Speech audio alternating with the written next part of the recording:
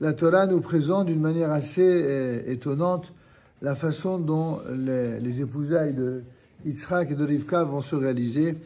En chapitre 24, au verset 67, il est dit que, après que le serviteur raconta à toutes les choses, à Yitzhak, toutes les choses qu'il avait faites, il est dit dans le texte que Yitzhak la conduisit dans la tente de Sarah sa mère, et il prit Rivka. Elle lui fut pour femme, il l'aima. Les Chachamim font remarquer que d'abord il l'a épousée, puis après il l'a aimée. C'est étrange, puisqu'aujourd'hui, vous avez bien des personnes de la nouvelle génération qui vous disent que ah non, mais il faut se connaître avant de se marier. Et qu'est-ce que ça veut dire se connaître? Ça veut dire avoir des rapports euh, euh, charnels pendant quelques années, et, et, au bout de dix ans, ils réalisent qu'ils ne sont pas faits l'un pour l'autre. Vous voyez, c'est exactement le monde à, à l'envers. Alors qu'en ce qui concerne Yitzhak et Rivka, c'est le contraire. D'abord, il l'a épousée. Il l'a épousée pour des raisons qui sont justement pas charnelles ni physiques, mais qui sont des raisons idéologiques profondes, à savoir celle qui va être la, une des matriarches d'Israël, qui va donner une famille, qui va donner un engendrement et des valeurs. Et seulement lorsqu'il l'a épousée, eh bien, on nous dit que il l'aima. Et juste après, intéressant, il fut consolé de sa mère. Ça veut dire que c'est seulement lorsqu'un homme est heureux avec sa femme qu'il est consolé de la perte de sa mère.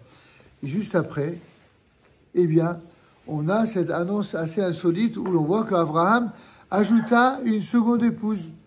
En effet, la première épouse, c'était, comme vous savez, Sarah, avec laquelle il a eu euh, mais avant d'avoir Yitzhak, il avait Ishmaël. Or, le problème, c'est que quand il avait eu Ishmaël, il était incirconcis et en plus, il l'avait eu avec qui? Avec Agar. Agar. Agar qui était sa servante, elle n'était pas sa femme légitime. En tout cas, sa femme euh, légitime dans le sens de la Torah. Et c'est seulement lorsque son, épouse Sarah mourut qu'il prit une seconde épouse, on nous dit qu'elle s'appelle Ketura. Et ce sont les Rachamim qui viennent nous expliquer que Ketura, ça n'est rien d'autre que Hagar, qui, dans, avancé un peu plus en âge, avait fait Teshuvah. Elle est, c'est.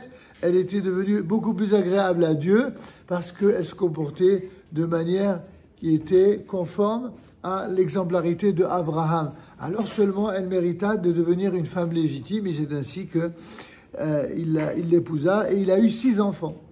Et c'est important de rappeler que, en effet, puisqu'on nous dit que le texte nous dit que Ketura, elle lui, lui enfanta Zimran, Yokshan, Medan, Midian, Yishbak et Shua. Midian, ça vous dit quelque chose, c'est de là que descendra notamment Yitro. Alors, euh, Yokshan enfanta Sheva et Dedan, etc. Et les fils de Midian, Refa, Refer, Hanor, Avidal, Da'a, et tout cela, c'était les fils de Ketura. Nous ça, je vous dis que ces enfants de Ketura, eh bien, ce seront toujours des gens qui seront autour du peuple d'Israël et qui seront favorables à Israël. Et cela, plus, selon d'autres commentateurs, même Ishmaël, qui, comme vous le savez, pendant pratiquement une bonne partie de sa vie, eh bien, considérait son frère comme un, rival, eh bien, finalement, à la fin de sa vie, il fera Teshuvah son nom sera prononcé deux fois consécutivement, comme le rappelle le Midrash, qu'à chaque fois qu'un prénom est donné, deux fois, ça veut dire que c'est un tzaddik gadol. Donc Ishmaël, le sage, nous enseigne qu'à la fin de sa vie, il était devenu tzaddik gadol. De sorte que, d'une part, entre les descendants de Ishmaël, une fois qu'il était âgé et, surtout sage, et d'autre part, les enfants de euh, Ketura, ça, c'est la partie du monde arabo-musulman qui, à la fin des temps, c'est-à-dire dans les périodes que nous traversons, eh bien, vont se rapprocher d'Israël d'une manière sincère. Pas à la manière de la takia, de ceux qui, qui font semblant d'être bien avec les Juifs pour mieux les, pour mieux les bloquer ou pour mieux les enfoncer ou les tuer. Non. À la manière de ceux qui veulent s'approcher afin de vivre vraiment. Et c'est ce que d'ailleurs tous ceux qui, tous les observateurs et les commentateurs divers aujourd'hui doivent comprendre. Il faut arriver à déterminer, à identifier ceux qui, dans tel et tel univers, sont des gens sincères, attirés par le bien, par la, véritable paix, et ceux qui, en fait, sont des menteurs qui ne souhaitent que euh, la mort et que le meurtre. Et la que la cadeau nous donne le route d'avoir enfin la bracha suprême de la paix véritable Et cette paix véritable, comme le disent nos maîtres, ne pourra venir que lorsque le Recha, le mal cruel des enfants de عملك seront anti بعزة الشام أمين كن يسون ربي حنا من عشاء ورسا كدوش بارو خولي جكوزي بيخا يربا لم تونسي مع حافظ علي التوراة ويدير كديش على الصغير